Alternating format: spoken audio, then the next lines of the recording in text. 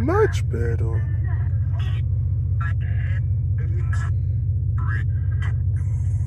The first one I thought I heard was Skinwalker, and the second one I was I didn't hear it clearly, but the third one I heard Death.